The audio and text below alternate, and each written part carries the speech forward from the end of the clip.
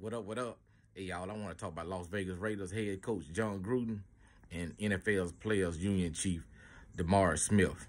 Now, a story that came out today that happened back in 2011 about Jon Gruden sending an email to, I think it was Bruce Allen, who worked for the Washington Redskins back then. And he was describing DeMaurice Smith. Now, this is how he described me, calling him Dumboris, D-U-M-B-O-R-I-S Smith. And he said he has the lips the size of a Michelin tie. Now, Jon Gruden know better than that, man. But you know, when you think you're doing something in private, you think you can you think you can get away with it, and you be your true self. You be relaxed. And he just got caught slipping the email and got out there. Now he trying to do do clean up on this. He trying to act like he don't have a racial bone in his body. He all this, he all that. Not like Jon Gruden, but he, he he probably did this, man. You know, I can look at Gruden and tell him, you know, he feel a certain type of way by people. But I think he's a good coach, you know. But, you know, he slipped and made a mistake.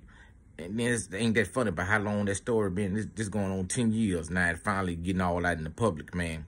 Now, he sensing left ESPN. He was working for ESPN when this story broke. He now got the job as the coach of the Raiders. I wonder how the players in the locker room gonna feel toward him now. Now they know how he feel toward certain black guys. I believe Gruden said that he didn't like this. I think they were about to have a lockout back in 2011. It was something that the Players Association was fighting over with the league, and he disagreed with it. And that's why he sent this statement out about DeMaurice Smith.